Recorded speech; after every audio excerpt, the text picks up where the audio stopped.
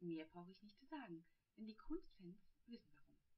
Die documenta in kassel ist wieder die größte und wichtigste schau nicht nur von kassel sondern von moderner kunst überhaupt. Und da müssen wir natürlich hin.